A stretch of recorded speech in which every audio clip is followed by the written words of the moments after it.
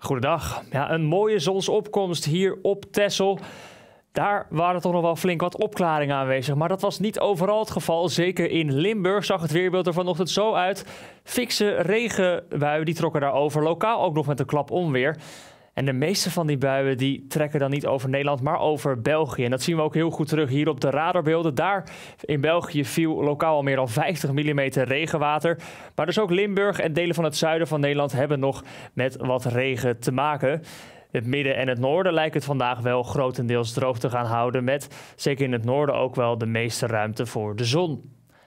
Nou, hoe gaat zich dan de komende uren dat verder ontwikkelen? We zien dat dat gebied zich een beetje gaat indraaien, waardoor ook nog het oosten, de achterhoek met name, ook nog met die regenval te maken gaat krijgen. En in die regenval wordt het maar met moeite dan 20 of 21 graden. In de gebieden met opklaringen kan het zomaar nog wel 24 of 25 graden gaan worden. En morgen dan een droge dag. Opnieuw zomerse temperaturen dan. Zo'n 25 tot lokaal 27 graden. Met dus veel meer ruimte voor de zon. Dus dan laten we die regen weer even achter ons. Het grootschalige plaatje van nu. Daarin zien we dat Terbi's lage drukgebied goed liggen hier ten zuidoosten van Nederland. Die trekt dus uiteindelijk weg richting Duitsland. Daarna komen we tijdelijk onder invloed van hoge druk te liggen. Met dus meer ruimte voor de zon op die vrijdag zonnige periode. Pas in de loop van zaterdag gaat de stroming draaien richting het westen. Krijgen we ook met enkele buien te maken. Temperatuur gaat met name op die zondag dan ook wat verder omlaag. Want dan komen we echt tijdelijk in een andere luchtsoort terecht. Dan tikken we maar met moeite die 21 of 22 graden aan. Iets verderop de oceaan zien we wel weer een nieuw lage drukgebied liggen. En die gaat er wel weer voor zorgen dat op maandag en dinsdag de stroming weer naar het zuiden gaat draaien.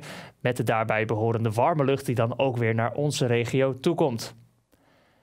In de weersymbolen ziet het er dan als volgt uit voor vanmiddag. Dit zijn de maxima die ik hier heb staan, 22 tot 25 graden. Dat is wel op de momenten dat de zon schijnt. Ehm, op heel veel plaatsen zal het toch wel waarschijnlijk iets minder warm worden. Met name in het zuidoosten van Nederland. Daar waar die regen toch wel wat intens is, tikken we maar met moeite die 22 graden aan. En bij die buien kan met name in het oosten dus ook nog wel een klap onweer voorkomen. In de loop van de middag trekt die regen wel richting Duitsland weg. En dan komt die zon op heel veel plaatsen toch echt nog wel even tevoorschijn. En waarschijnlijk worden de maxima dus ook pas richting het einde van de dag bereikt. En bij dat alles staat er een zwakke tot matige wind uit noordelijke richtingen. Vanavond is het op de meeste plaatsen dan al droog, met uitzondering van het uiterste oosten van het land. temperatuur daalt naar zo'n 17 tot 22 graden. De bewolking overheerst eerst nog wel, met name in het zuiden van het land. Het noordwesten kan dan waarschijnlijk wel al genieten van flinke zonnige perioden. En de wind die blijft uit die noordelijke richting waaien. Vannacht koelt het dan flink af, zeker in vergelijking met de afgelopen nacht. Goed weer dus om je huis ook weer te gaan koelen. De gebieden met opklaringen, daar kan het kwik onderuit gaan naar zo'n 12 of 13 graden. Daar waar de bewolking nog wat dikker is in het zuiden, is het zo'n 15 tot 17 graden. En de wind is slechts zwak uit noordelijke richtingen. Morgen dus een prachtige zomerdag. Temperatuur loopt al snel op naar uiteindelijk zomerse waarden van zo'n 25 graden. In het zuiden mogelijk 26 of 27 graden.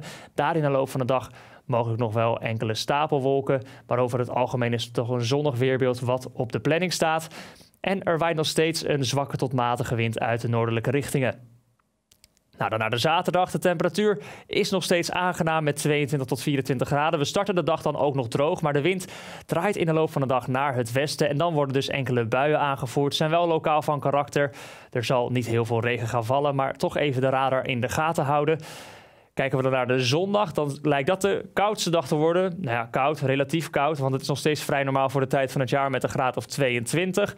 De wind is al wel naar het noordwesten gedraaid, dus het kan wel echt wat frisser aanvoelen met nog enkele buien die overtrekken.